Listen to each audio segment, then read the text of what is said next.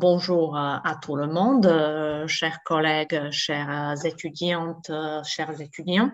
Je vois que vous êtes nombreux aujourd'hui. Alors, j'aimerais vous expliquer un peu, le plan de cet atelier, atelier numéro 3.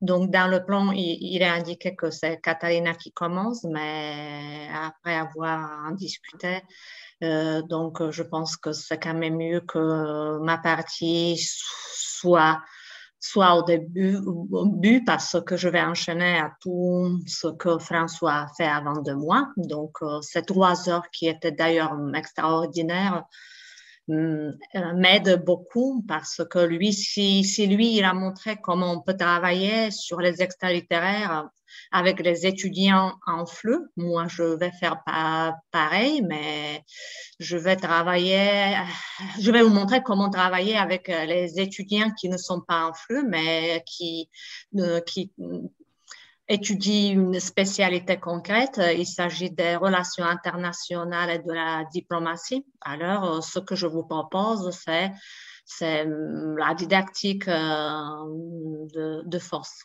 D'accord? Euh, J'ai choisi comme mes collègues euh, des extraits littéraires tirés du, du roman Eastern d'Andrea Savaiova. Je remercie à Monica et à qui ont fait un super bon travail lundi dernier. Elles ont expliqué tout le contexte, le contexte du livre. Elles ont parlé beaucoup de, de l'auteur. Euh, donc, peux, je peux continuer. Je ne vais pas répéter la même chose. Nous avons discuté dans notre groupe euh, quant au choix des extraits. Donc, euh, il fallait qu'on travaille chacun sur un autre extrait. Donc, j'explique pourquoi j'ai choisi ces deux extraits, mais je, vous le dis plus tard. D'accord? Donc, euh, j'ai dit tout à l'heure que dans ma vie professionnelle, je travaille avec les étudiants qui sont inscrits en relations internationales ou en sciences politiques. D'accord, donc l'objectif de mon travail, il est différent de celui de mes collègues. Avant de commencer, j'aimerais dire quelques mots sur, sur ce qui est le FOSS. Donc, la notion du c'est sur objectif spécifique, le FOSS, euh, comme vous le savez, elle n'est pas récente. Euh, le concept est apparu il y a quelques décennies, mais ce qui est important, il a évolué depuis sa première apparition. Au, début, la littérature spécialisée parlait plutôt des langues de spécialité. Un peu plus tard, il s'agissait des langues euh, sur objectifs spécifiques. Et plus récemment, la littérature parle de, de CLIL. CLIL, ce qui est un acronyme anglais qui correspond à l'équivalent français EMIL, alors enseignement d'une matière intégrée à une langue étrangère. Si pour certains auteurs ou pour certains enseignants, il s'agit de la même chose, du même concept, il y a d'autres qui voient, qui voient de grandes différences. Euh, pour être clair, mon objectif n'est pas d'analyser le concept de force et son évolution. J'aimerais juste, avant de, vous proposer des activités concrètes euh, destinées aux futurs enseignants de force, de donner une définition de base qui pourrait clarifier un peu ma situation d'enseignement. Et aussi mon objectif, euh, l'objectif de, mes cours hein, que je donne dans ma vie professionnelle réelle, mais aussi l'objectif euh, de mon intervention d'aujourd'hui. Alors, pour moi, le français sur objectif spécifique, ou si vous voulez FOSS, euh, est un enseignement euh, du français qui est axé sur un domaine bien particulier. Pour moi, il s'agit notamment des relations internationales et de la diplomatie, pour euh, vous donner plus euh, de détails, mes étudiants euh, qui sont inscrits soit en relations internationales, soit en sciences politiques doivent apprendre plusieurs langues vivantes, dont le français. Il s'agit alors d'un public qui a besoin d'une compétence en français, mais d'une manière assez urgente et pour une raison très précise. Si je parle de manière un peu plus générale, les apprenants du FOSS sont assez souvent des adultes hein, qui ont besoin du français pour des raisons professionnelles. Il s'agit souvent des formations de courte durée qui vise à développer des compétences de communication professionnelle. Ce qui est très important, le FOS se donne pour mission de se centrer sur des contenus, alors des contenus assez spécifiques, qui a priori ne sont pas maîtrisés ou ne sont pas bien maîtrisés par l'enseignant de, de FLE, d'où la nécessité d'entrer en contact avec les acteurs professionnels si vous désirez élaborer le matériel ou si vous désirez didactiser des activités pédagogiques. Euh, donc, euh, quel est mon parcours? Quel est mon profil? Alors, à l'origine, je suis enseignante de, FLE. J'ai fait mes études à la faculté des lettres, donc la faculté de, où mes collègues, mes quatre collègues de notre équipe travaillent actuellement. Euh, donc, depuis 20 ans, je travaille à la faculté des sciences politiques et des relations internationales. Donc, dans le cadre de notre, de notre équipe, je suis la seule dont le profil est différent. Pourquoi je le dis? C'est parce que je n'ai pas l'habitude de travailler sur la littérature, ce qui ne veut pas dire que ça ne m'intéresse pas. J'ai dit au début, avant que, avant que, au début, avant que Elisabeth euh, a ouvert euh, cette séance, j'ai dit que cette expérience euh, m'a vraiment beaucoup aidé à réfléchir comment je pourrais modifier, moderniser. Euh, alors mes cours, généralement, je travaille avec beaucoup de, documents, des, documents qui sont vraiment très diversifiés, mais je n'ai jamais pensé à utiliser les extraits littéraires. Donc, euh, j'étais à Rennes euh, en 2019 pour la première fois avec toute l'équipe euh, franco-polono-slovaque. vraiment, l'année dernière, pour la première fois, j'ai utilisé des extraits littéraires dans ma vie professionnelle. Alors voilà mon parcours. Pour ajouter encore, donc à l'origine, je suis enseignante de FLE, mais j'ai fait ma thèse dans le domaine des relations internationales et je devrais bientôt me présenter devant le jury pour euh, mon, mon, habilitation dans le domaine de relations internationales. Donc, j'ai deux spécialités. Ce que j'aime beaucoup, c'est euh, vraiment enseigner dans le cadre de FOSS et j'aime beaucoup faire la recherche dans les relations internationales et j'essaie de combiner, de, de, faire partager tout ce qui est important. Euh, donc, j'aimerais que mes étudiants profitent de cette double formation que j'ai. Donc, l'objectif de mon intervention d'aujourd'hui est de montrer aux étudiants de FLE, ici par exemple, donc les étudiants de FLE ou en FLE, ce sont les futurs enseignants de FLE.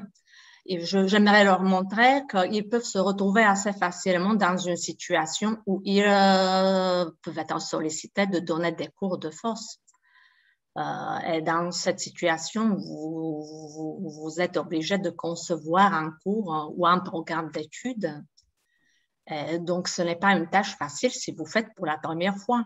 J'ai une très belle expérience qui de plus est très récente, dont j'aimerais vous parler un peu. J'aimerais vous parler de mon collègue Fabrice, qui est français, c'est notre lecteur de FLE, qui travaille actuellement à la faculté des lettres dans l'équipe de Catalina, de Monica, etc. Euh, donc, lui, il est venu à notre faculté en septembre et il travaille également avec moi à ma faculté. Donc, ce qui me plaît euh, avec Fabrice, non seulement qu'il a une double formation comme moi, et il a fait ses études euh, en Sciences Po, il a une formation de FLE, de plus il est breton, donc son FLE il a obtenu à Rennes, d'accord? Donc il est arrivé en septembre, je lui propose des cours très hum, concrets euh, dont il est chargé, c'est surtout la civilisation française et c'est aussi l'histoire de France. Euh, donc, euh, il s'agit de cours hein, qui sont vraiment très bien faits ou euh, qui sont des cours dont, que, les Français aiment faire et savent faire, très bien. Mais je lui ai proposé aussi d'intervenir dans mon groupe, dans, mon groupe dans mon cours de civilisation slovaque. D'accord? Donc, c'est pour la première fois qu'un lecteur français euh, a accepté de travailler avec moi sur ce cours. Et lui, il n'a pas refusé, au contraire, il était très partant, il a accepté tout de suite, euh, il n'avait pas peur, donc il voulait juste savoir quel est l'objectif, euh, il voulait savoir avec quel document il devait travailler, donc je lui ai fourni une quantité de documents, je lui ai proposé un sujet concret, je lui ai donné des documents et lui, qu'est-ce qu'il devait faire? Il devait d'abord étudier, étudier ces documents, alors parce que la civilisation slovaque, la Slovaquie, ça lui dit rien. Il est en Slovaquie depuis un mois. Il connaît rien. De plus, il est confiné. Lui, doit réfléchir comment, comment s'approprier de, de, de, cette tâche. Donc, il étudie les documents que je lui propose, mais je lui dis qu'il est complètement libre. D'accord? Donc, je dis, si tu as besoin de mon aide, alors voilà, moi, je le ferai comme ça, mais tu es libre, tu fais comme tu veux. Donc, euh, il étudie les documents pendant une semaine, après on se revoit et il me dit, il me dit quels documents lui plaisent, comment il pourrait travailler, etc.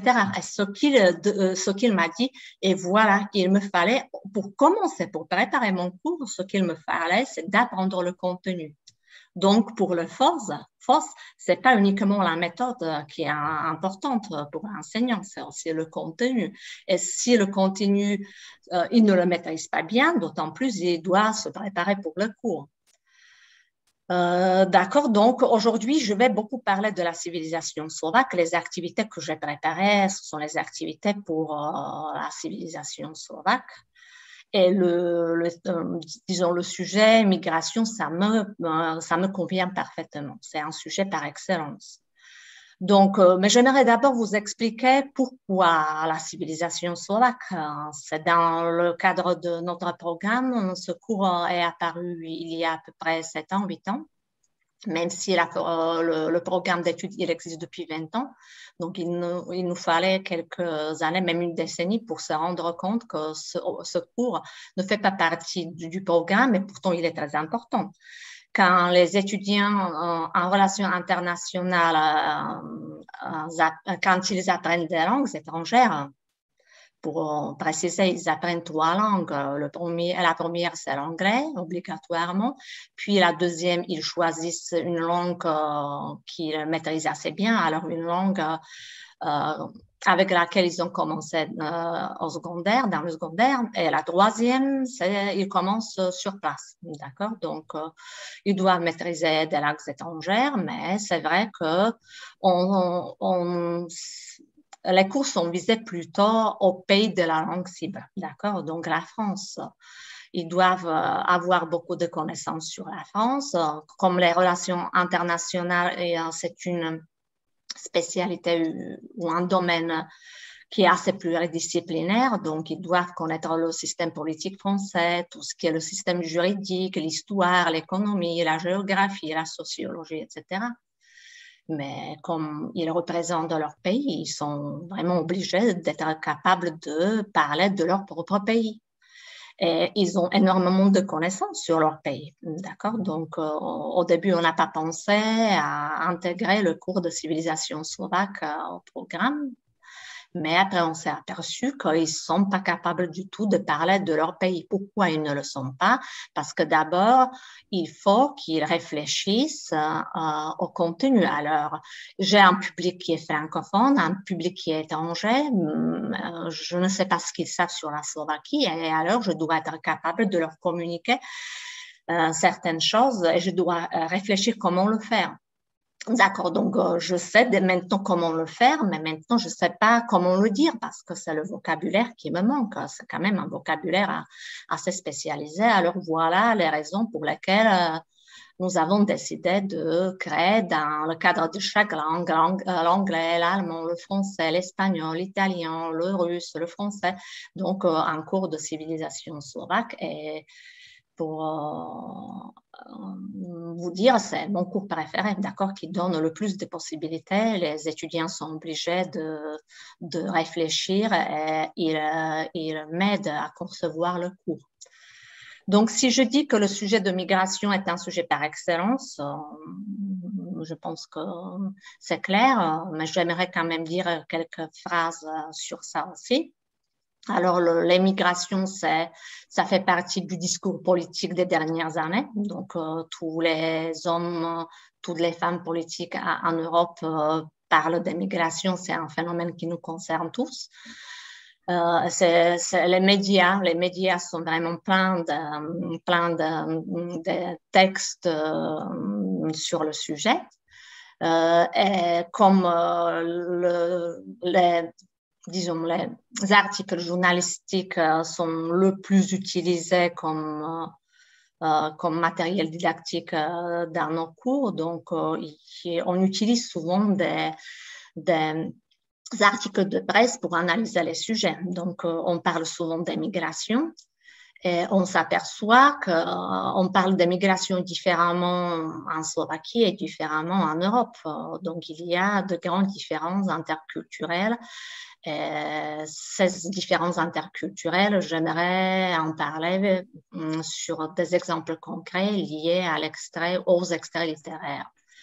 Donc, euh, je pense que c'est suffisant pour euh, l'introduction, pour expliquer ma situation euh, pédagogique dans laquelle je me retrouve au quotidien. Et j'aimerais maintenant travailler sur les extraits littéraires, mais si vous me permettez, je dois vous faire partager le document. Alors, une seconde.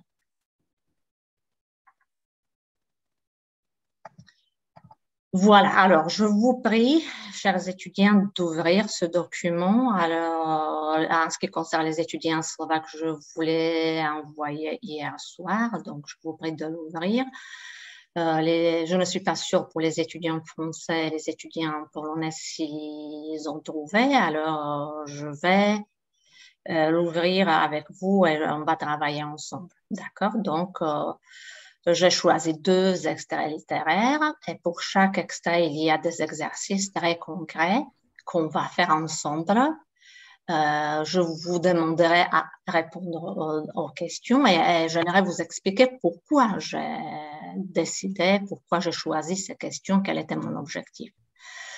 Euh, donc, je pense qu'il y a beaucoup d'étudiants hum, qui ont lu le livre dans son intégralité, mais si, si je peux vous proposer, euh, donc on, va lire euh, ces extraits encore une fois. Alors, donc, pour le document numéro 1, allez-y, je vous donne 4-5 minutes pour le lire.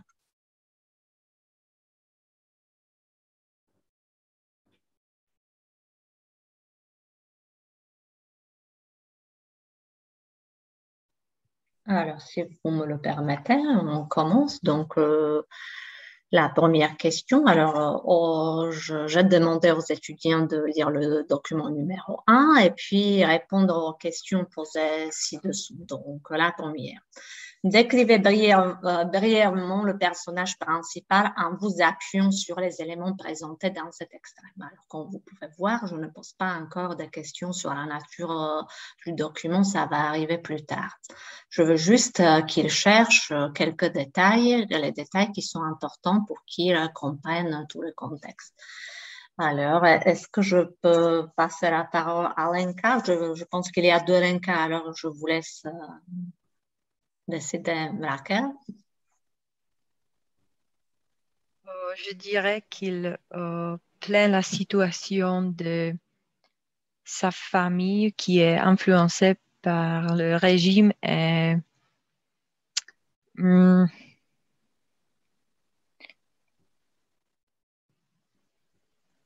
Oui, exactement. Donc, oui, on, a quelques détails sur sa famille. Je suis d'accord avec vous. Donc, euh, et dans, dans, le texte, si vous cherchez dans cet extrait, il y a quelques informations de base sur le personnage principal qui s'appelle Martin. Donc, on sait à peu près quel est son âge, on sait quelle est sa nationalité et on sait quelques informations, on connaît quelques informations sur sa famille. Alors, vous, vous connaissez le livre, hein, mais imaginez que vous voyez cet extrait pour la première fois, vous n'avez pas d'informations, donc vous voyez, il y a un certain Martin et je, dois comprendre qui est, qui est ce, cette personne, d'accord? Donc, euh, euh, ce qu'on sait sur ma, Martin, si vous voulez, en slovaque, donc, il, il est d'origine slovaque. Il est plutôt jeune. D'accord? Comment on sait qu'il est jeune Nulle part son âge n'y est évoqué, mais pourtant on peut dire qu'il est jeune qu'il est jeune euh, et on cherche des indices. Donc, il est jeune parce qu'il parle de son père et, on, et, il dit que dans les années 60, il avait 18 ans. Donc, euh, on sait que lui, il, est, il peut avoir 30 ans, quelque chose. Euh, alors, il est jeune. Et on a quelques détails sur sa famille. notamment dans l'article, on, on, parle de son père, de son grand-père, et on sait qu'il a des cousins éloignés aux États-Unis. La question numéro 2, une pendule traditionnelle au cri d'oiseau est évoquée dans la première partie du texte. Quelle importance lui donne l'auteur?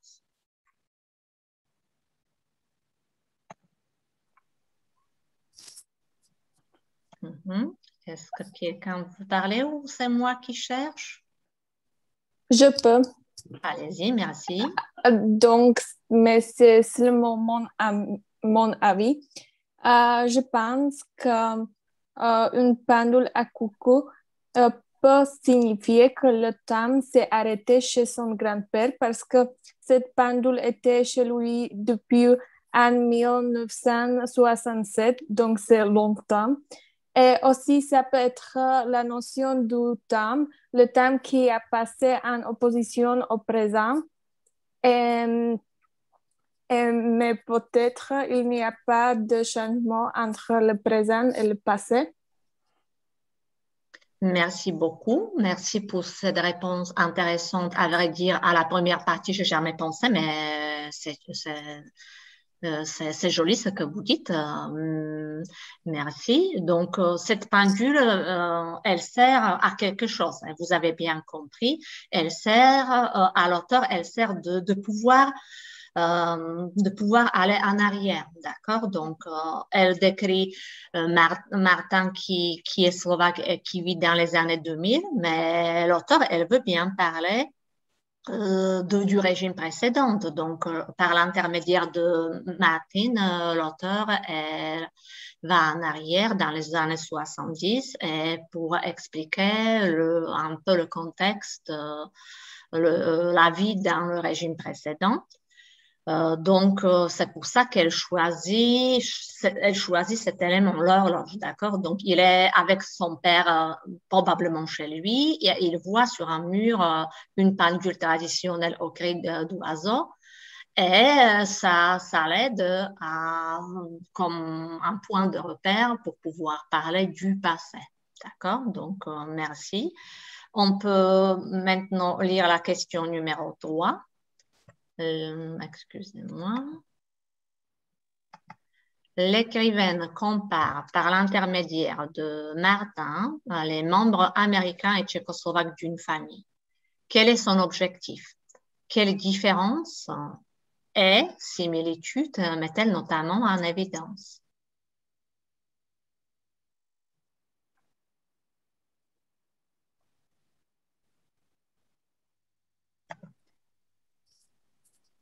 Ici, euh, je pense que l'auteur a voulu montrer la différence entre la vie dans, euh, dans le régime capitaliste et communiste. En général. Oui, exactement, c'est ça, d'accord. Donc, euh, l'auteur, l'objectif, c'est de comparer deux mondes, d'accord Le monde on a rideau de fer elle veut montrer la vie, le monde des deux côtés, d'accord? La partie occidentale et la partie euh, soviétique. Euh, donc, euh, c'est pour ça qu'elle choisit le destin d'une famille séparée. Euh, mais disons ouvertement que c'était un destin de nombreuses familles slovaques. Donc, euh, un exemple assez typique, euh, il y avait beaucoup de familles slovaques qui avaient quelqu'un qui avait émigré, qui avait quitté le pays pendant cette période communiste. Donc, si on dit quitter le pays, donc pendant cette période, il s'agissait d'une émigration illégale, d'accord? Donc, elle veut montrer par l'intermédiaire de, des membres de familles américains et tchécoslovaques, les différences, euh, non seulement les différences interculturelles, c'est bien évoqué dans le texte, elle dit, elle dit notamment euh, Elle dit notamment, son regard se posa sur une vieille horloge, un coucou qui sortait d'une petite fenêtre entrouverte pour euh, annoncer les heures. Donc, c'est là où elle commence. Et après, elle continue et elle parle des différences qui sont écrasantes. L'horloge au coucou montre les différences culturelles qui sont écrasantes. D'accord? Pour euh, euh, ajouter quelque chose sur cette horloge, donc c'est un objet qui lui sert pour pouvoir aller en arrière, mais en même temps, vous êtes peut-être trop jeune, mais cet objet était assez typique pour cette période, donc pour euh, pour euh, les gens de, de, la même génération que Martin, c'est par exemple mon cas. Donc, euh, en lisant cet extrait tout de suite, alors j'imagine cette horloge accrochée au mur. Donc, on avait tous les mêmes objets. D'accord? Donc, si on se rappelle d'un objet concret, que ce soit une horloge, une pendule, que ce soit un fer à repasser. Alors, on avait tous euh, les mêmes objets. Donc, ça nous aide, avec ces photos, ça nous aide de revenir euh, en arrière aussi en ce qui concerne notre, nos vies personnelles. La question numéro 3, euh, pardon, 4. Relisez les deux dernières phrases de l'extrait et expliquez la pensée de l'auteur. Il se demandait souvent si son père serait devenu comme l'un de ses cousins américains s'il avait vécu en Amérique. On ne pouvait pas le savoir. Pourquoi le principal protagoniste aimerait-il savoir comment le destin de son père aurait pu évoluer s'il avait disposé des mêmes opportunités que ses cousins américains? Comment perçoit-il son père au fil du temps? Faites vos propres hypothèses. Alors, en ce qui concerne cette question, il faut que les étudiants aillent chercher exactement euh, les phrases qui décrivent qui décrivent euh, la famille de, de Martine, les phrases qui parlent de son père, les phrases qui comparent son père à, ses cousins américains, d'accord? Donc, euh, des fois, ce n'est pas facile de se repérer. Donc, ils vont, les étudiants vont d'abord chercher cet extrait. Et après, dans cet euh, extrait, il cherche ce que l'auteur communique. Mais la deuxième partie de, cette question, ou la, question suivante, euh, demande de réfléchir, de réfléchir, de faire des hypothèses, etc. Donc, il faut bien euh, faire la distinction entre chercher dans le texte et dites ce que vous pensez, proposez vos hypothèses. Alors, est-ce que je peux proposer à quelqu'un de, de répondre à cette question?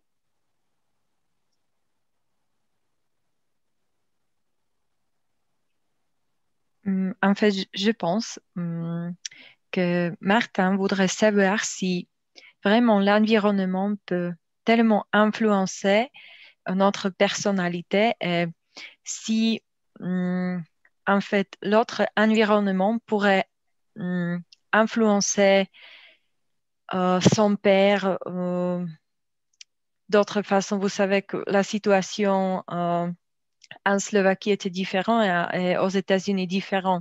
Donc, si il peut-être euh, mm, serait aux États-Unis, s'il serait différent. Oui, exactement, c'est bien ça. Il veut montrer que les conditions pour se développer n'étaient pas pareilles. Est-ce dans, est-ce que dans cet extrait, l'auteur donne des réponses? Est-ce que vous pouvez dire euh, quel est le point de vue de Martin?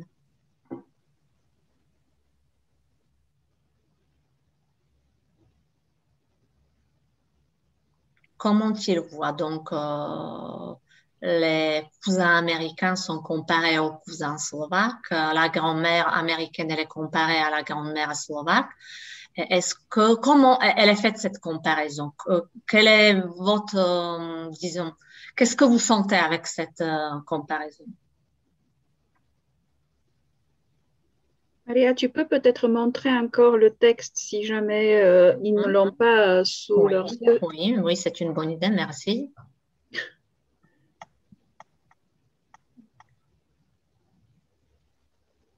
Alors, donc, comme je vous ai dit, il faut d'abord trouver où ça commence, d'accord?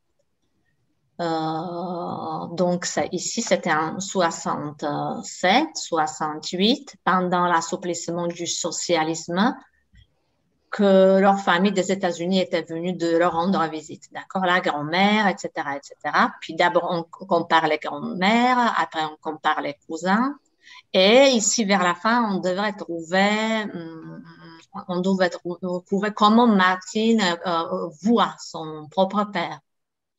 Est-ce qu'il est plutôt fier de son père? Vous, vous le sentez comme ça ou il est plutôt déçu?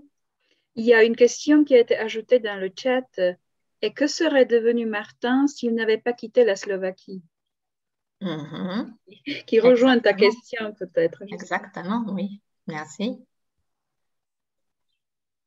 Moi, personnellement, j'y sens une petite déception, d'accord? Euh, Il, est plutôt ravi de- du comportement, du physique de, des cousins américains de son père. Et moi, j'y sens une petite déception euh, de la part de Martine. Alors, mon père euh, n'est pas suffisamment, suffisamment comme moi, moi j'aimerais avoir un père plus américain euh, qui- qu'il est, d'accord?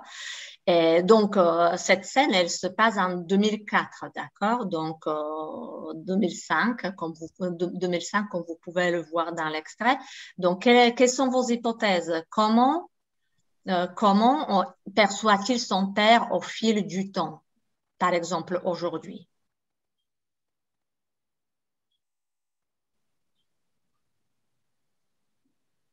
Euh, pourquoi j'ai posé cette question, d'accord? Vous avez lu le roman dans son intégralité, d'accord? Mais mes étudiants ne vont jamais lire hein, dans, dans son intégralité. Je ne peux jamais leur demander ça. Ce n'est pas notre objectif, ça ne sert à rien. Je veux juste travailler sur deux extraits. Ils ne connaissent pas le contexte et je veux qu'ils réfléchissent. Je veux, j'aimerais qu'ils imaginent euh, euh, le roman, comment il évolue. Donc, c'est pour ça que j'ai posé cette question. Je les fais parler. D'accord Chacun peut avoir une, idée différente, une proposition euh, différente. Et après, euh, qui, après euh, je, je, leur donne des détails du roman. Je parle plus de Martin, de son destin à Paris, je parle plus de son père, de son destin en Slovaquie, etc. D'accord donc voilà, c'était le premier document. Maintenant, on va travailler avec le document numéro 2, mais j'aimerais encore vous montrer que au-dessous au de, de, chaque document, j'ai bien indiqué le, le nom de l'auteur, le, le, titre, l'intitulé du roman, les pages, la maison d'édition, etc. Tout ça, ces informations sont importantes, sinon on ne peut pas analyser si on connaît pas, si on n'a pas ce genre d'informations. Et donc, quand on travaille avec le document numéro 2, donc, c'est là où je commence à m'intéresser sur la nature du document. D'accord? Donc, observer le document numéro 2, identifier sa nature et comparer-le avec le document précédent. Donc, euh, ils ne le lisent pas, ils observent seulement. D'accord? Donc, ils vont parcourir, ils vont voir que c'est toujours le même personnage, que c'est toujours le même roman, c'est presque le même endroit, c'est quelques pages plus tard. Donc, euh, ils peuvent comparer maintenant. D'accord? Donc, euh, je pourrais peut-être passer la parole à Véronica. Vous êtes là? Vous pouvez me répondre à cette question? Identifier la nature et comparer-le avec le document précédent.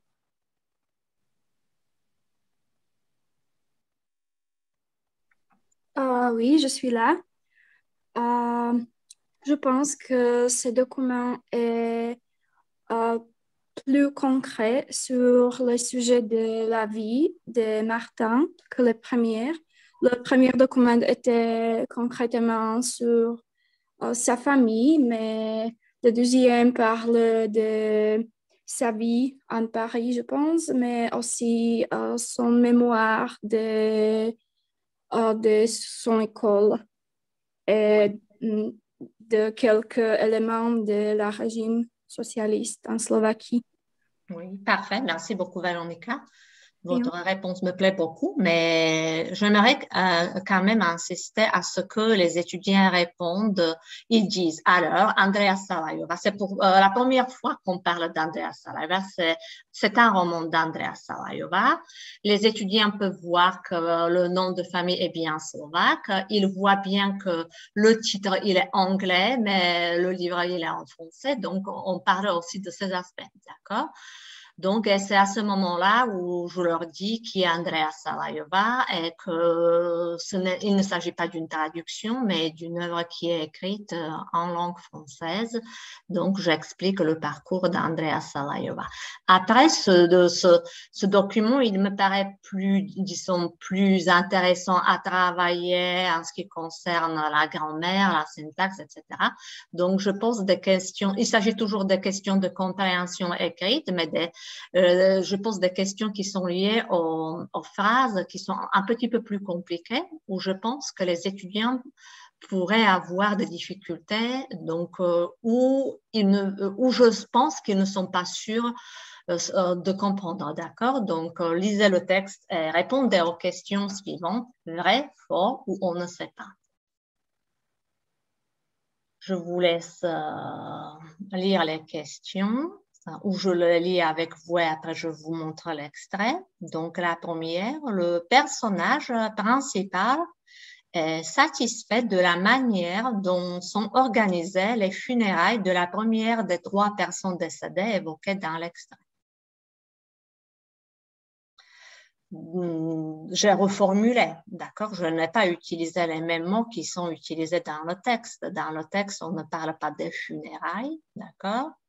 On n'utilise pas le mot décédé, donc ils doivent deviner, d'accord? Donc on va travailler sur les funérailles, donc je connais un peu la racine euh, latine, alors je vais chercher dans le texte quelle phrase parle des funérailles.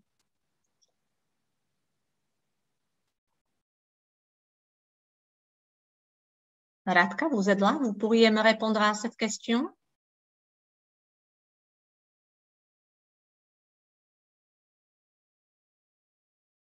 Radka n'est pas là, mais je pense Anka, elle est là.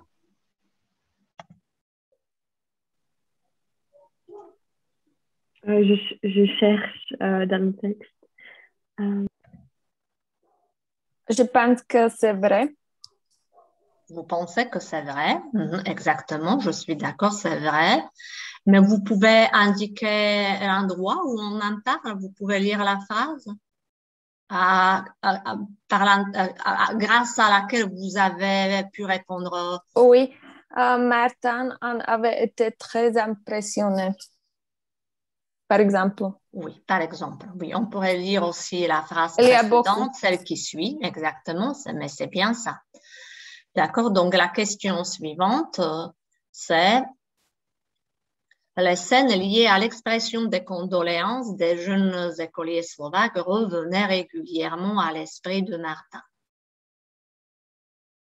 Alors, de nouveau, on cherche euh, l'endroit où... C'est aussi vrai. C'est vrai aussi, vous pensez? Faux. C'est faux. Mhm. Qui dit faux? Euh, Je ne vous vois pas, s'il vous plaît. Vous pouvez expliquer pourquoi c'est faux? Hmm, il dit quelque part que qu'il n'y pense pas souvent, mais je ne peux pas le je ne le vois pas maintenant, je dois le mhm. trouver. Ici, c'était curieux comme tout cela défilait dans la tête de Martin avec une telle clarté. Il n'avait jamais repensé à cette roi photo au ruban noir, à cette roi dignitaire mort depuis si longtemps il avait enfui si loin en lui, tout se passait. Voilà. Alors, je suis d'accord avec la réponse, c'est fort. La troisième question, euh, la, la, troisième phrase, les sentiments que le protagoniste a gardés à l'égard de la doctrine politique de sa jeunesse sont chaotiques et très négatifs. Euh, je pense que euh, sa information n'était pas mentionnée.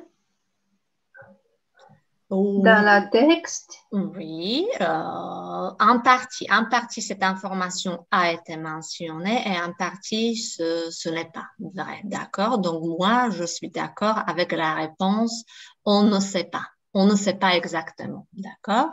Donc, si vous voulez, c'est euh, c'est à peu près cette partie qui en parle. Les gens avec des idées préconçues sont partout. Les siennes, par contre, étaient toutes décousues. D'accord? Ça veut dire que chaotique, peut-être c'est un peu chaotique, mais ça ne veut pas dire que euh, euh, disons, tous les souvenirs euh, soient négatif. D'accord? Donc, la réponse correcte, ce n'est pas vrai. La question numéro 2. Quatre noms russes apparaissent dans les souvenirs du personnage principal. Relevez-les et dites quel est leur dénominateur commun. Indiquez ensuite celui qui se distingue euh, des autres par une prise de conscience du retard économique de son pays.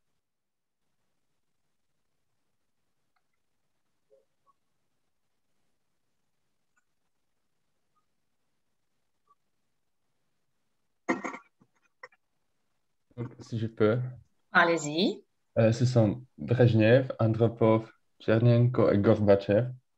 Très bien. ils étaient les secrétaires généraux du Parti communiste de l'Union soviétique, je pense. Mm-hmm. Euh, je pense que c'était Gorbatchev qui. Oui.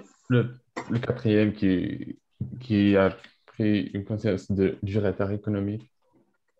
Oui, exactement. Donc, vous les, vous les avez énumérés tous les quatre dans l'ordre comme ils font. On commence par Berezhnev et on termine par Gorbatchev. Euh, exactement, d'accord? Donc, euh, vous connaissez les noms, d'accord? Vous, surtout les Slovaques, les Polonais, ça fait partie de notre, histoire. Donc, euh, les noms, on les connaît bien. Donc, on sait retrouver les noms russes assez rapidement. Ce qui est peut-être plus difficile, c'est de trouver leur dénominateur commun, d'accord? J'ai utilisé express cette expression. Alors, on l'utilise en slovaque, c'est lié aux mathématiques. Donc, on cherche quelque chose, un, élément qui est en commun, d'accord? Donc, euh, euh, qu'est-ce que ces quatre personnes ont en commun? Euh, Ce que vous savez bien que c'était les, disons, les représentants, les hauts fonctionnaires de, de l'URSS mais euh, normalement, je pense que les étudiants ne seraient pas en mesure de dire que c'était, les, disons, les chefs du Parti communiste, d'accord? Ils cherchent l'élément, d'accord? Le chef euh, d'État, actuellement, dans le système démocratique, la notion chef d'État n'est pas exactement pareille que dans un pays qui est communiste, avec une idéologie communiste. Donc, euh, disons, ils étaient les chefs du Parti communiste, et ils étaient à la tête du pays à cause de ça. Donc voilà, très bien, merci. Et je suis d'accord aussi avec euh, l'information que c'est Gorbatchev qui est différent. Euh, il est différent euh, par une prise de conscience du retard économique de son pays, mais ce n'est pas indiqué dans le texte, c'est une information que j'ai rajoutée. D'accord? La question numéro 3. Quelques mots d'origine russe euh, sont utilisés dans les propos de Martin. Retrouver les droits pouvant être associés aux définitions suivantes. Alors, je vous laisse d'abord lire euh, ces expressions, euh, ces définitions. La première, restons sur la première. C'est je ne sais pas comment on le lit en français, mais trotskisme. Mm trotskiste, d'accord, il y a un adjectif. Mhm. Mhm. Voilà, c'est ça. Euh, c'est le mot qui est utilisé par les Français assez souvent, même si on a vécu pendant des décennies dans le système, ce terme, on n'utilise pas. mais c'est bien ça, d'accord Donc, l'adjectif, vous l'avez trouvé. Et ce qui m'intéresse maintenant, c'est c'est un adjectif qui est relatif à un courant politique de type marxiste. Et on cherche le nom, d'accord? Donc, euh, ça me permettrait de parler de la personne elle-même, Léon Trotsky. Euh, Léon Trotsky, et je pourrais expliquer aux étudiants qui était, qui était Léon Trotsky, pourquoi il était important pour l'URSS, pour le monde, etc. D'accord Donc, la définition euh, B, je vous laisse euh, lire cette définition. Ça peut être consommant. Oui. Euh, attention à la prononciation, consommor, d'accord. Mhm. Voilà, très bien, consommor. Euh, est-ce que vous savez, est-ce que vous connaissez l'équivalent, français pour dire, parce que consommol, c'est, c'est un acronyme, d'accord, une abréviation, d'accord? Une abréviation euh, qui signifie quelque chose. En français, ça signifie Union de la jeunesse communiste, d'accord? C'est la forme du mot qui est intéressante. Ça me permettrait de travailler un peu sur les acronymes, sur les abréviations. Je pourrais expliquer aux étudiants ce que c'est un acronyme. Donc, il s'agit des lettres initiales ou des premières syllabes de chaque mot qui font partie d'une expression. Alors, Kommunisticheski Soyuz Maladoy, Maladoji, ça veut dire il y a trois syllabes, comme, so, mol. Voilà. La troisième définition, allez-y. Euh, je pense que c'est apparatchik. Voilà, exactement. Le mot, euh, c'est apparatchik. Voilà. Si vous regardez la définition, euh, si on définit euh, l'apparatchik, donc euh, on, dit quelque chose d'autre. Donc, mais moi, je ne voulais pas que ça soit clair immédiatement. Donc, je cherchais, je voulais trouver une définition un peu plus compliquée. Donc, c'est pour ça que j'ai choisi désignant aujourd'hui par extension toute personne qui profite. Donc, la définition que vous pouvez voir. Euh, ne concerne pas le, le, régime précédent. Et, elle est liée au régime précédent, mais elle concerne euh, la vie de nos jours. Euh, apparatchik, très bien, la réponse correcte. La question numéro 4. Après la révolution de 1917, de nombreux mots russes ont fait leur apparition dans de multiples langues, y compris le français pour qualifier des choses totalement nouvelles et des notions spécifiques à la Russie, l'URSS ou à la politique russe soviétique. C'est notamment le cas de glasnost, perestroïka ou samizdat. Associez deux éléments de la liste ci-dessous à chacune de ces trois expressions. D'accord Voilà, il y a six éléments et il y a un tableau où vous pouvez mettre chaque, euh, pour chaque, euh, chacune des expressions deux éléments de cette liste. Et cette fois-ci, je vais choisir un étudiant polonais ou français parce que je pense que ce n'est pas difficile pour eux non plus. Est-ce qu'il y a un étudiant polonais qui aimerait répondre à la question? Matsej Lezak, vous êtes là? Euh, oui, oui, je suis là. Ah, je vais essayer. Euh, alors, euh, Guasnost, euh, si je me souviens bien, c'était euh, système clandestin de circulation d'écrit ou, la, ou la liberté d'expression. Les deux, d'accord. Voilà, vous avez trouvé deux éléments qui correspondent à la notion de grâce. Non, merci. Vous pouvez essayer avec perestroïka, s'il vous plaît. Euh, oui, c'est euh, la restructuration économique et euh, réforme sociale.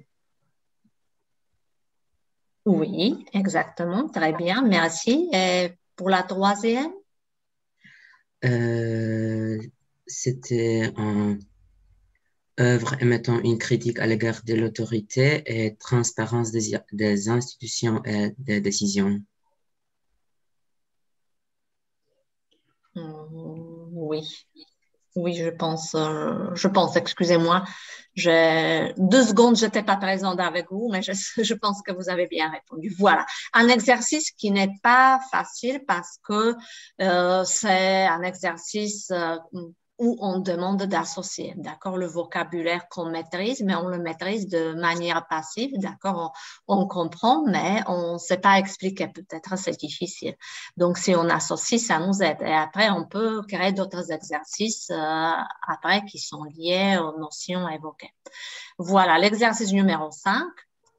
En vous référant à vos connaissances antérieures, euh, retrouver le nom de la courte période de libéralisation euh, du pays évoquée dans le texte. Nommez ensuite celle qui a succédé à cet assouplissement du régime afin de donner davantage de place à la ligne conservatrice du Parti communiste. Choisissez ensuite parmi les définitions ci-dessous celle qui correspond le mieux à cette situation. Je pense que cette fois-ci, je pourrais hmm, passer la parole à un étudiant, étudiante en France. Euh, par exemple, Noémie? Si Noémie n'est pas là, je passe la parole à Janetta. Oui, je suis ici, mais je dois encore réfléchir. Oui, je vous laisse. Mhm.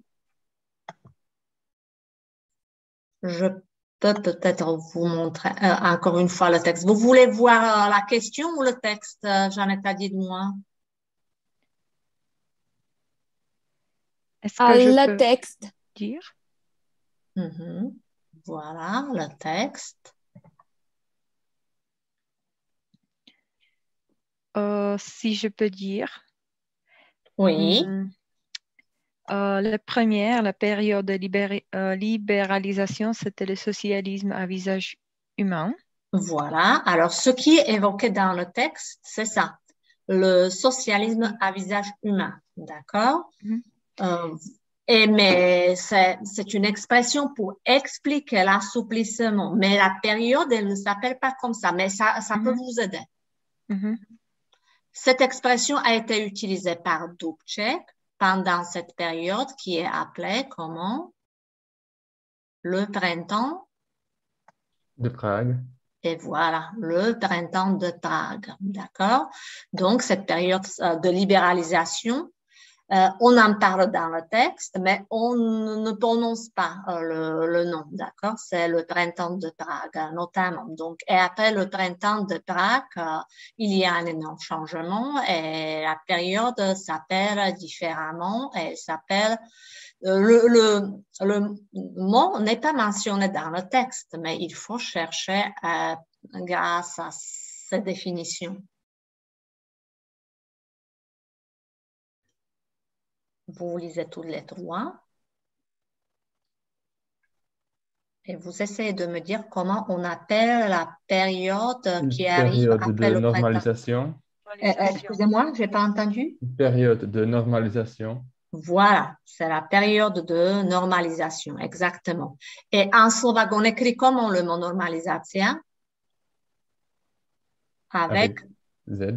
avec un N, N majuscule. Je pense qu'en français, on devrait faire pareil, mais les Français sont moins stricts avec les majuscules, minuscules, parce que c'est un nom d'une période concrète, euh, normalisation. Voilà. Donc, il y a trois définitions. Et vous pensez euh, laquelle correspond le mieux à cette période? La troisième définition, Oui, vous pouvez la lire, s'il vous plaît? Hmm, fait de rétablir de manière autoritaire des structures sociales et politiques que des mouvements sociaux avaient déstabilisées. Exactement. Et vous pensez que les deux précédentes euh, ne, ne, ne, ne concernent pas du tout euh, l'expression normalisation? La deuxième pourrait, Oui, et la exactement. première, Et la première aussi, d'accord? Euh, Toutes ces trois définitions qui sont tirées du dictionnaire à la rousse euh, expliquent, euh, définissent le mot normalisation. Mais la première, c'est dans le, dans le sens général. Normalisation, c'est une procédure de standardisation. Et les deux concernent, les deux suivantes concernent action, euh, action de rendre normal. Mais normal, euh, la troisième, de manière autoritaire, donc euh, normal entre guillemets. D'accord, voilà. Vous avez très bien répondu à la question numéro 5. Et maintenant la question numéro 6.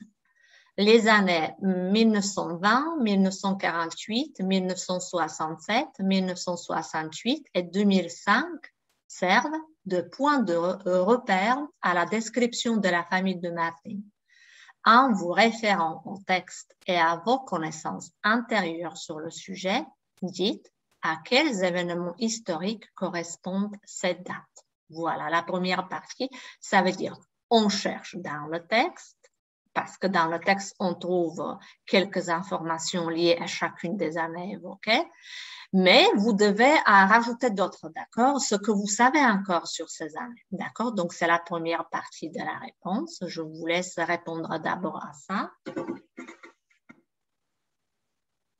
Je vous montre le texte, le texte de départ. Donc, je répète 1920, 1948, 67, 68, 2005. Allez-y, cherchez dans le texte.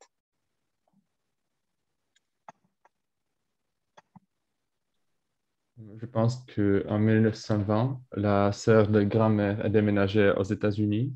Voilà, très bien. En 1948, le Parti communiste a gagné des élections.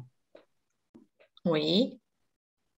Puis 1968, c'était Oui, c'est dans précédent. Les Russes ont, ont arrivé à en Tchécoslovaquie C'est en 68. 67, c'est le début de, de, de l'assouplissement du régime. Le printemps de Prague culmine en 68 et cette période est terminée, comme vous dites, par l'invasion des armées soviétiques. Voilà. Très bien. Et il vous reste encore une année, c'est 2005.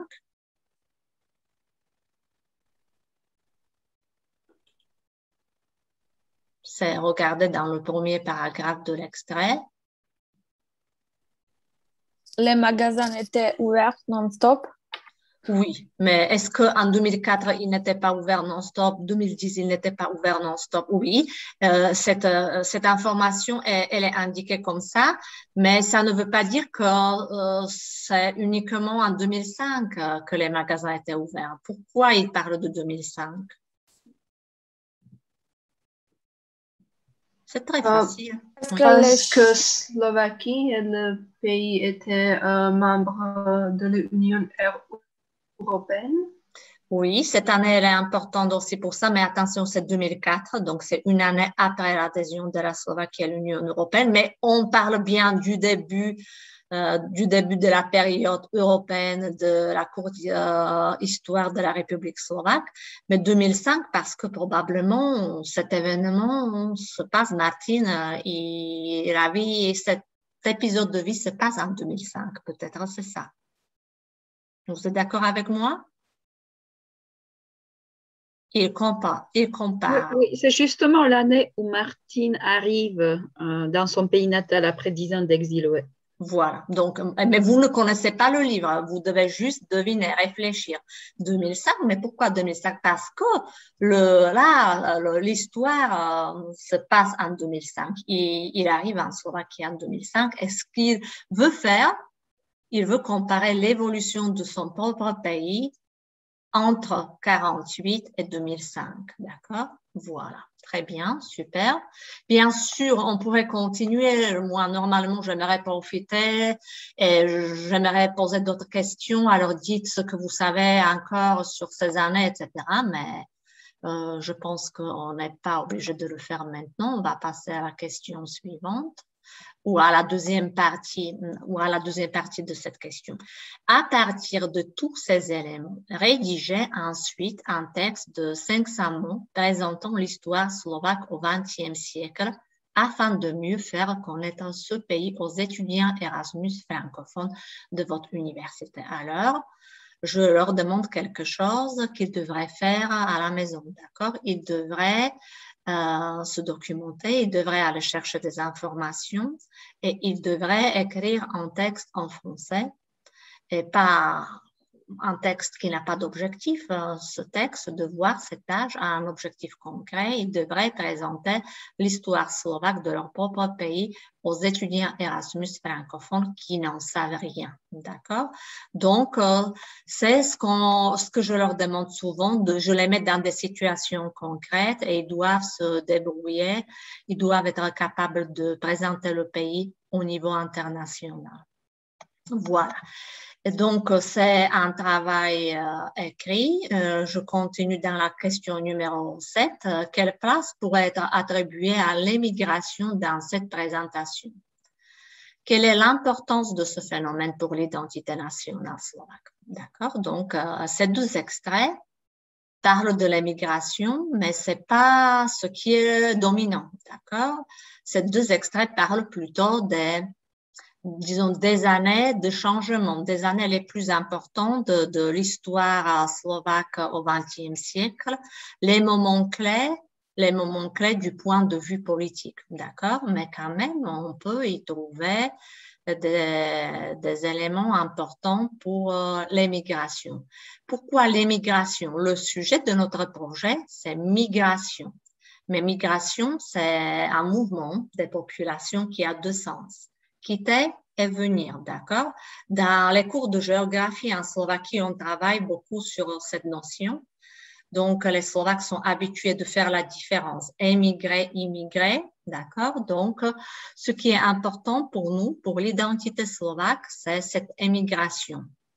D'accord? Ça fait partie de l'identité slovaque c'est un sujet qui est très important et j'aimerais que les étudiants slovaques expliquent ce phénomène à leurs amis français et polonais. Est-ce qu'il y a quelqu'un parmi vous qui, pourrait, pourrait parler du phénomène d'émigration? Est-ce qu'il y a Barbara ou Anka, Radka? Vous pouvez expliquer pourquoi le sujet d'émigration est important, quelles étapes d'émigration font euh, Oui. Mhm. Euh, bonjour, donc euh, si je peux parler plutôt de la période des années 20 au début du XXe siècle, alors 1920, c'était plutôt émigration à cause des, des raisons socio-économiques et la plupart des gens à cette époque ont parti vers les États-Unis, Canada ou en Australie, mais aussi en Voivodine ou en Hongrie. Euh, cette période a touché aussi à ma famille où ma grand-mère, ils étaient 12 enfants euh, et donc euh, le fils aîné avec son père est parti en Argentine. Donc ils ont eu le choix soit d'aller en Amérique du Sud ou du Nord, ils ont choisi alors euh, Amérique du Sud, ou alors c'était pas comme euh, ils ont prévu de, gagner leur vie. Et le grand-père est revenu, euh, le, père est revenu seul, sans, le fils qui est resté là-bas et fondé sa famille. Mais sinon, il y en a aussi des émigrants qui sont partis soit en France, ou bien dans une partie tchèque de l'ancienne Tchécoslovaquie, pour les raisons euh, d'éducation ou de, de pouvoir euh, euh, de pouvoir d'avoir de, de, meilleures possibilités professionnelles. Et aussi, elles, ont, elles ont parti en Serbie, Croatie, Hongrie, aussi en Roumanie, euh, dans cette époque où ces minorités sont aussi les représentantes dans les municipalités et des instances régionales. Et les Slovaques euh, disposent euh, des institutions dans, dans le domaine éducatif euh, dans la langue slovaque aussi là-bas et il y en a aussi des lieux culturels, culturels qui est dans, dans, la langue en fait slovaque. Et, euh, c'est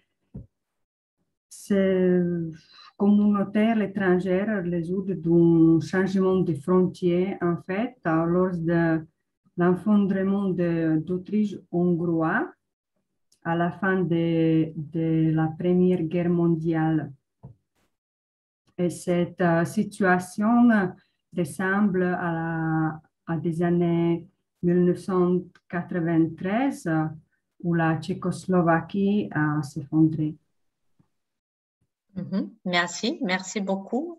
Euh, Barbara, j'aimerais ajouter encore quelques informations pour euh, euh, que, ça soit vraiment clair. la Slovaquie est un pays plutôt petit, d'accord? Parmi les plus petits de l'Union européenne, il y a seulement 5 millions et demi hum, d'habitants, d'accord? Donc, si on parle de cette population qui a émigré, donc actuellement, on compte officiellement, selon les statistiques officielles, 2 millions de Slovaques qui résident à l'étranger. D'accord? Donc, c'est un chiffre qui est énorme hein, par rapport aux, habitants de, la Slovaquie actuelle. Euh, donc, euh, c'est aussi pour cette raison que l'émigration fait partie très importante de, l'histoire de jeune État slovaque. Euh, pour vous expliquer actuellement, les expatriés, c'est une richesse pour les pays pour les pays qui sont développés, pour les pays qui sont en développement.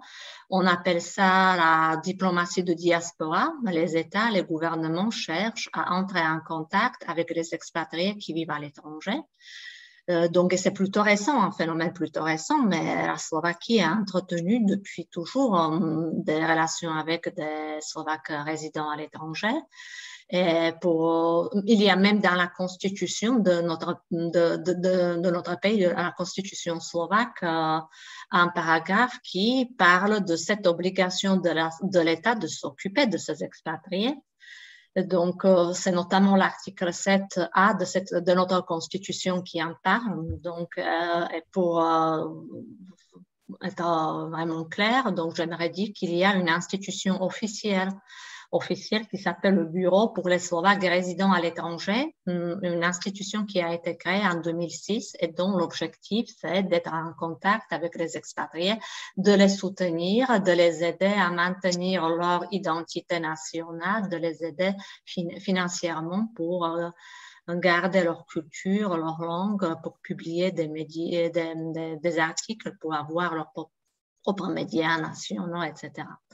D'accord? Donc, euh, l'immigration, elle a joué un rôle important d'accord, donc il y avait plusieurs vagues. Barbara vous a expliqué la vague, euh, la première vague ou les premières vagues, c'est la fin du 19e et le début du 20e siècle. Comme elle a dit, la raison principalement, c'était, c'était les raisons socio-économiques. Donc, euh, les Slovaques, ce que je veux dire, les Slovaques, ils ont une expérience avec la migration d'origine socio-économique.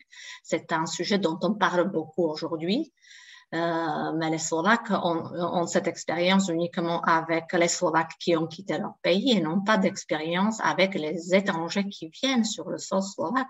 C'est pour ça que le sujet aujourd'hui, il est, il est très, disons, sensible, il est très médiatisé. C'est pour ça qu'on parle souvent de la Slovaquie ou des pays du groupe de Visegrad, donc Tchéquie, Pologne, Slovaquie, Hongrie, dans les médias européens ou internationaux.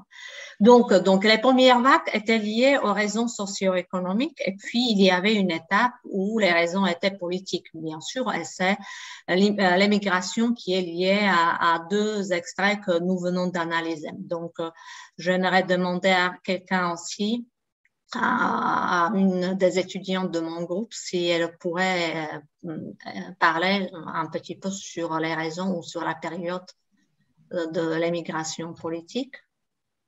Est-ce qu'il y a quelqu'un, je ne sais pas, euh, Par exemple, moi, je peux continuer avec, avec la description de la période euh, après 1948.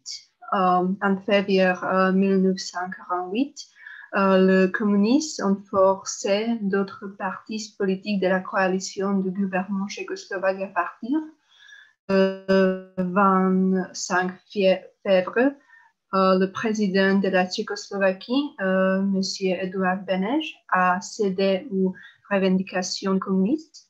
Les élections de mai euh, ont été truquées pour assurer la victoire. Excusez-moi, vous dites les élections. Excusez-moi, vous dites les élections de mai. Vous pouvez mhm. préciser l'année, s'il vous plaît? En quelle année? Les élections année 1948. Oui, allez-y, Ont été truqués euh, pour assurer euh, la victoire du Parti euh, communiste. Euh, la Tchécoslovaquie est devenue une État de parti unique. le terme de, introduit par le Parti communiste italien, la nationalisation et la collectivisation, le régime totalitaire prenait des décisions sur euh, l'économie, la société, citoyens. Euh, le citoyen qui n'étaient pas d'accord avec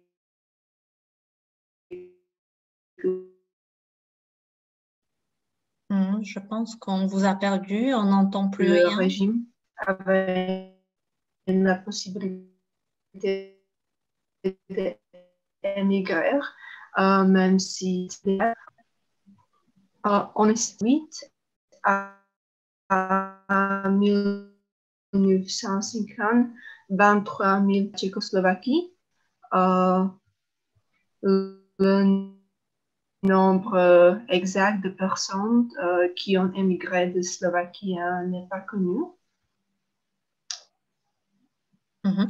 Excusez-moi, je suis désolée d'être obligée de vous couper, mais le son est vraiment mauvais. Ça coupe, Ah. alors on n'entend pas grand-chose. Avant, au début, on, moi j'entendais tout, mais maintenant ça pose des problèmes. Alors, vous- je vous prie de m'excuser, mais je, je vais finir euh, à votre place, si vous me le permettez. Alors, Radka, elle essaie d'expliquer les raisons, les raisons de, de l'immigration politique qui commence euh, en 48 et qui se termine en 89. Euh, elle essaie de donner des statistiques, si j'ai bien compris. Elle veut montrer combien de personnes euh, ont quitté leur pays. Mais attention, dans cette période, on parle de l'immigration illégale.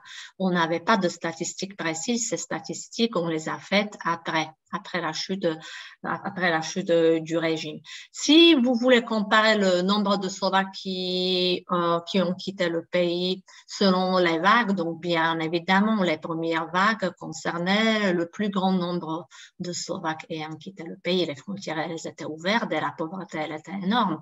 Donc, euh, ils cherchaient à trouver euh, un travail pour aider leur famille sur place. D'accord? Il y a beaucoup, d'ailleurs, il y a beaucoup d'œuvres littéraires qui parlent de cette période, de cette période, donc pour euh, notre culture, pour notre identité, pour notre histoire. Donc, il s'agit d'un phénomène euh, très important.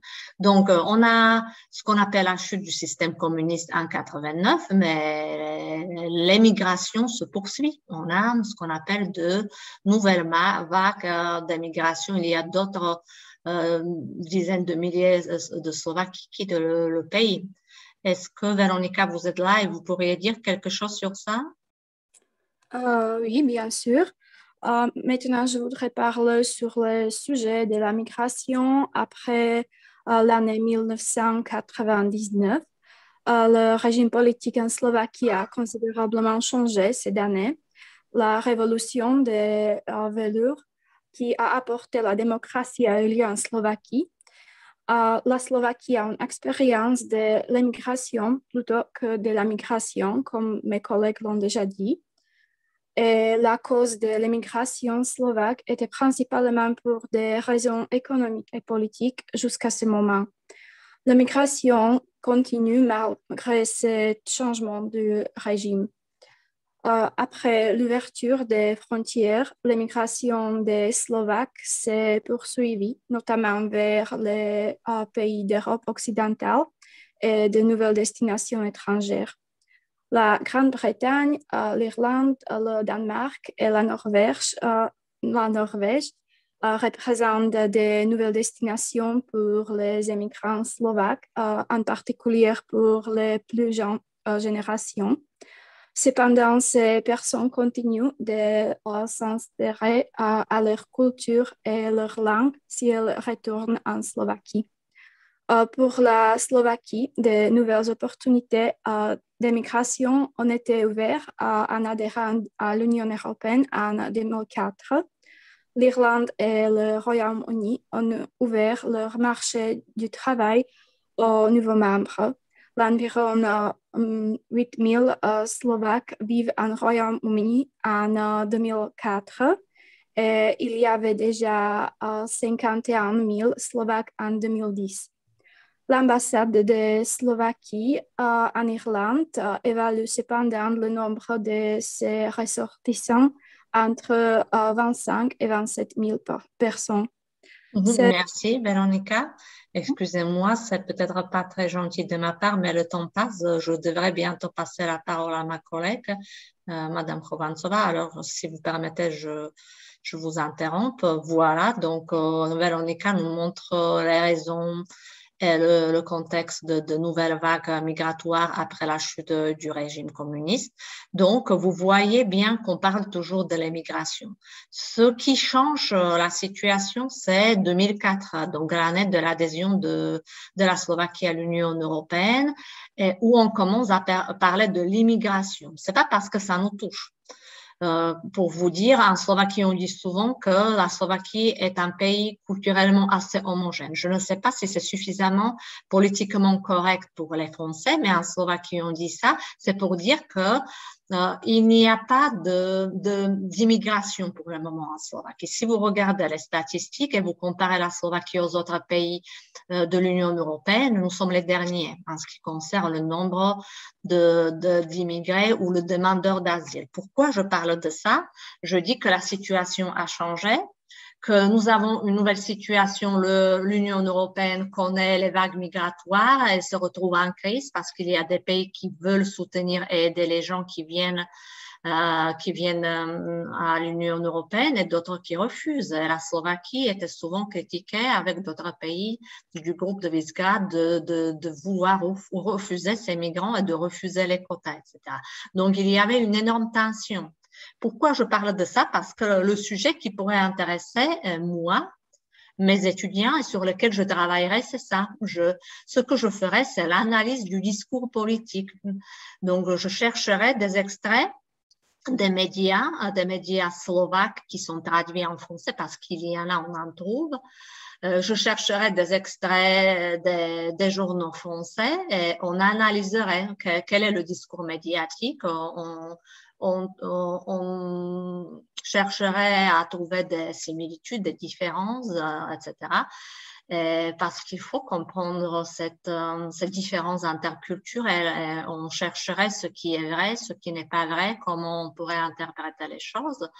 Et on ouvrirait sans doute le problème de populisme, parce que si on parle de, de l'immigration en Slovaquie, c'est un, sujet politique, mais c'est surtout les partis populistes qui en vivent, qui en parlent, qui en font un sujet, un sujet pour les élections, que ce soit présidentielles ou législatives, etc. Alors, si Anka est là, je pourrais lui passer la parole vite fait pour expliquer pourquoi la Slovaquie se comporte de telle manière. Merci. Euh, bonjour à tous. Euh, ouais, c'est vrai que certains pays européens créent une atmosphère, je veux dire hostile, euh, pour décourager les migrants des demandeurs d'asile. Et malheureusement, c'est clair qu'on voit Pologne, République tchèque et Slovaquie refusent de participer à l'accueil européen des réfugiés. Euh, selon moi, euh, l'histoire permet de comprendre parce que euh, ces quatre pays qu'on appelle Visegrad ont été longtemps occupés par des grands empires et cela a donné naissance à l'obsession d'échapper à la soumission. En vivant euh, sur un continent euh, apparemment, unifié, on oublie les différences profondes qui nous divisent, euh, qui séparent ce qu'on appelle la Nouvelle Europe et la Vieille Europe. une première différence entre la Vieille et la Nouvelle Europe se retrouve dans une expérience coloniale parce qu'aucun pays de l'Europe centrale euh, n'a possédé ni a fait partie d'un empire euh, outre-mer.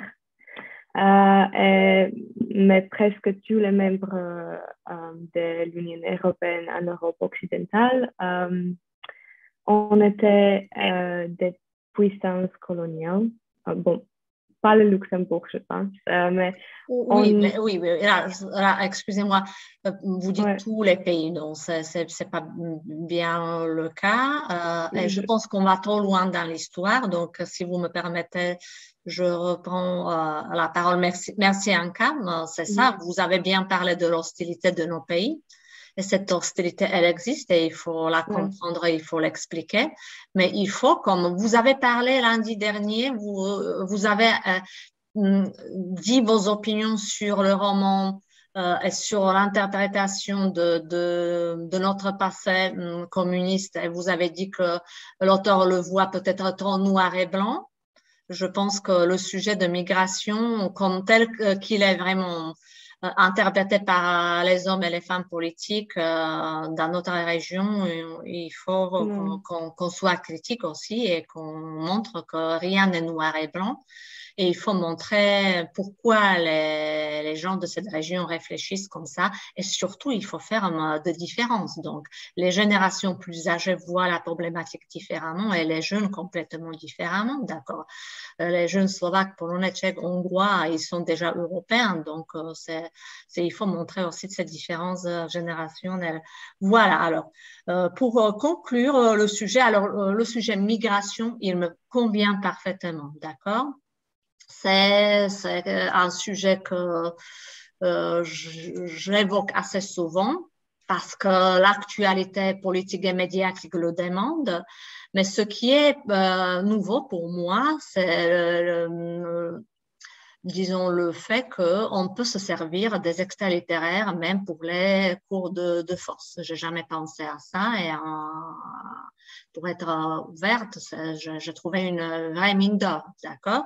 Donc, je vous ai montré deux extraits de ce roman, mais j'aimerais dire que euh, j'ai cherché aussi d'autres. Euh, mais j'ai cherché des traductions. Pour moi, euh, deux livres qui suivent, j'ai encore trouvé vous proposez hum, le document numéro 3 et le document numéro 4, mais ces deux extraits ne concernent pas le roman.